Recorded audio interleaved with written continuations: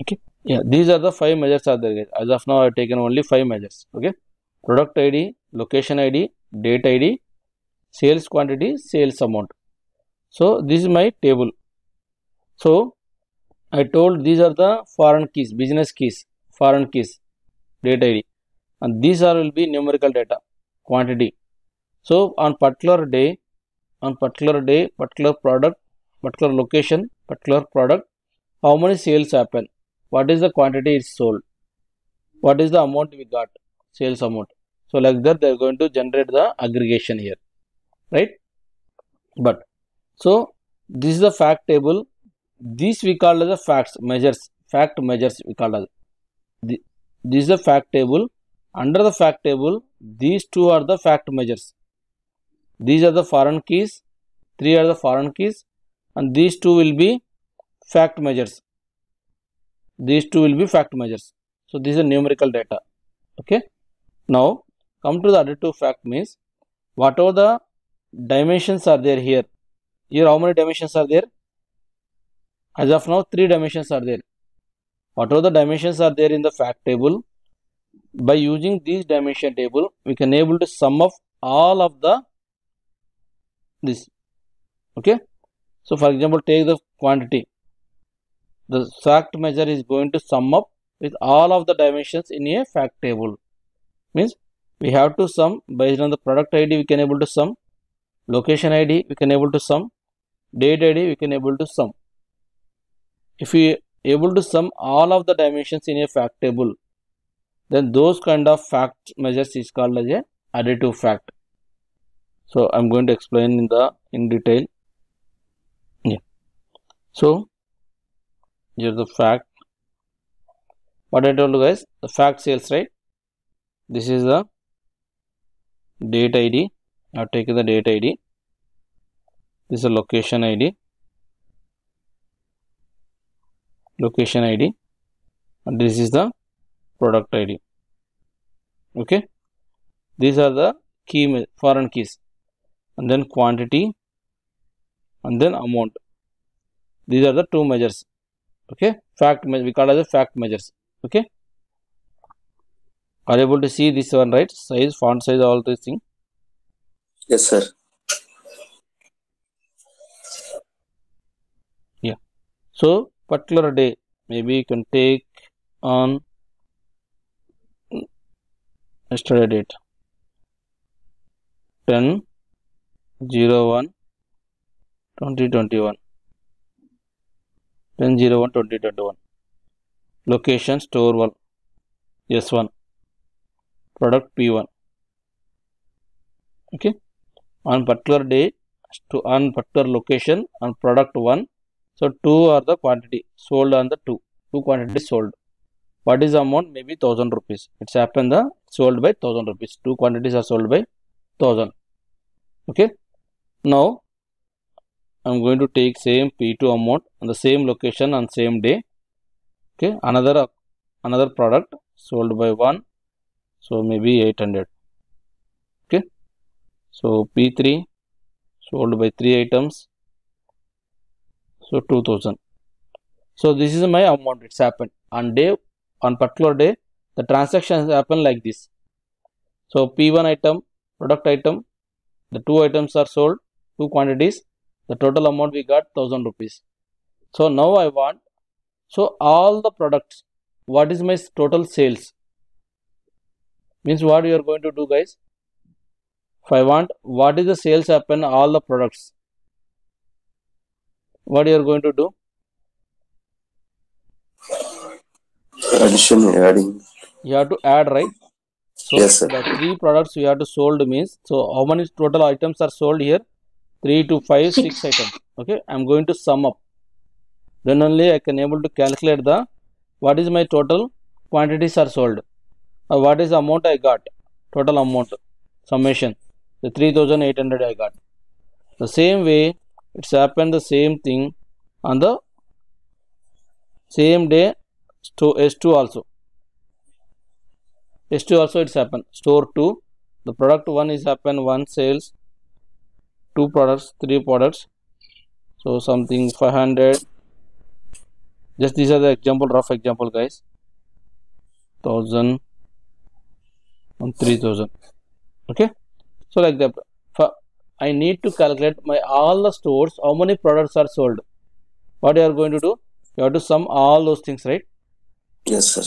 so what is my amount? 8300 happened from the two stores. My total products are sold. I got 8300 and i, I sold by 12 products i sold on the two stores. Like that. I'm going to calculate the by using the product wise i'm going to calculate but location wise i can able to calculate. What is my two store sales means what you have to tell? So i'm going to sum up this thing these two. Then i can tell the total sales will be happen under 8300 on the two stores. So i'm going to sum up by using on the product wise i'm going to sum based on the location wise i'm going to sum. If you want next day so same thing happen on the last day. 11th 11th day. So if i want weekly sales i want to find out the weekly. What is my two days sales means? You have to sum again the two days sales right? So 16000 so here will be 24 so so like that i'm by using the date wise i'm going to sum the these measures.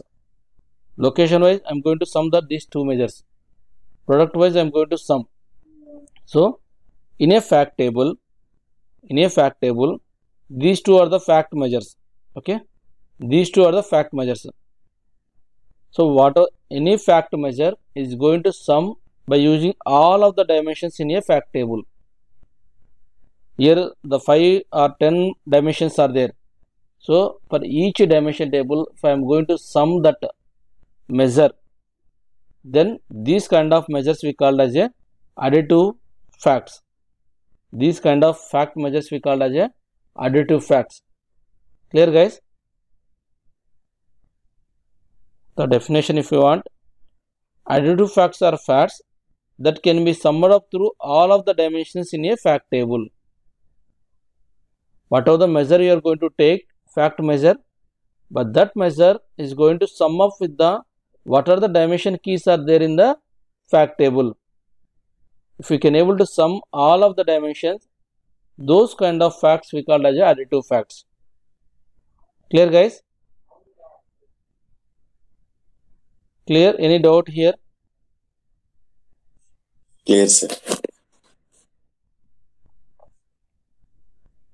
so for example take the quantity is a measure fact measure. This measure i'm going to sum whatever the dimension keys are there in the fact table. I can able to sum all of the dimensions. So product wise i'm going to sum the quantity. Location wise i can able to sum the quantity. Date wise i can able to sum the quantity. If your customer is there for example customer id also there. So it has to be sum the based on the customer id also. Okay? So the customer id so who is the customer? So how many cust all the customer wise what is the sales happen? Then i can able to sum the quantity. Okay?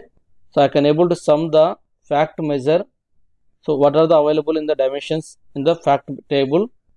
So that kind of facts we call as a additive facts. We can able to sum all of the dimensions in a fact table. Those kind of facts measures we call as a facts we call as a additive facts. Okay? This is the additive fact. I'm going to share you this screen.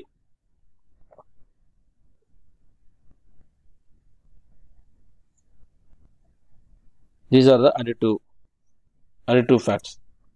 Here what are the additive facts guys? Quantity and amount is the additive fact. These two are the additive facts. Okay? Clear? Next we have the one more fact measure is there. That is the semi additive one more measure is there. That is the semi additive remove this one. Take the same example. Same example. So here i am going to take the fact sales measure right? Fact sales sales. Here i am going to explain you additive semi additive fact. With the fact underscore inventory. Fact underscore inventory table. So before going to tell the fact underscore inventory i am going to general example the current balance i am going to explain. Then i am going to explain the fact inventory table. You can easily understand. So the definition of the semi additive means here all of the dimensions we are able to sum right but here few of the dimensions we can able to sum but but others we can't able to sum by using the other dimensions. Those kind of fact measures we call as a semi additive measures. Okay? Some measures we can able to sum for some dimensions we can able to calculate but some dimensions we can't able to calculate the sum. Those kind of measures we call as a semi additive facts. Okay the best example i'm going to explain for example take your account. So your account will be 10 so i'm going to take 9 0 01 2021 okay? 0901 2022 sorry. So 2022 okay? So account number 1 a1 you have the how much amount is there beginning of the balance okay at the morning. So day day started. Have the 10000 is there okay. In your account guys